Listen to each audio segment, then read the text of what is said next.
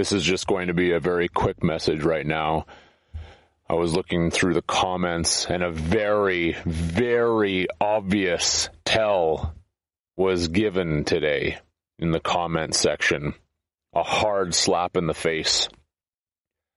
Multiple accounts saying the same exact comment verbatim, word for word, telling you that these are unreals. These are ChatGPT AI robot zombies sent on the comment section to stir the pot. It was an example. It was a tell. Did anyone else see it? I'm pointing it out. I'm just gonna post the snip that I took off the page. I just clipped the section of comments to point this out. This is what they do. They swarm and they're copies of each other. They're all working for the same system. It's a tell. And I'm pointing this out. It wanted to know if I was going to notice. Of course I noticed. Thank you for doing that and making it so obvious so that I could point it out to the real hearts out there. And to the real hearts, read through the comments. They put words into my mouth that I never said. To those who are going to go on the walk, no, you're not going to need to carry two years of supplies and food. That's not how this is going to happen. That's not going to be necessary. The impossible is possible. I've always said this, I always maintain it. But now look at all these gaslighters. Just literally gaslighters. I loved your early work.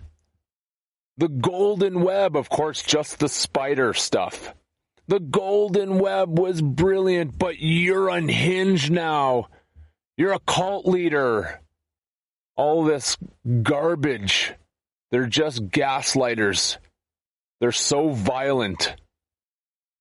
And that should just be completely, blatantly obvious now.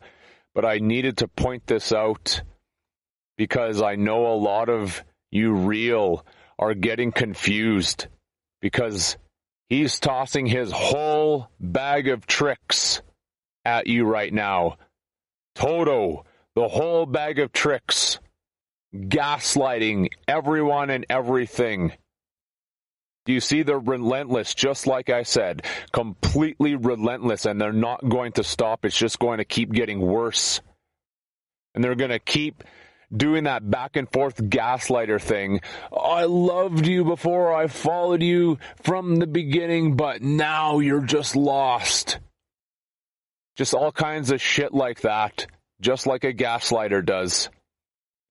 So this one's going to be very short. Like I say, I needed to point this out because it's a big tell.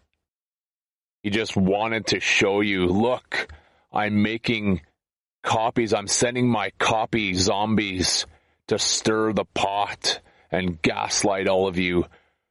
And he, this is what he's saying. He's he's testing to see if you're intelligent enough to see. And I know that you real hearts are intelligent enough. Of course, I know that. But I wanted to point it out to make it so obvious. I'll speak to you all later. Stay safe out there.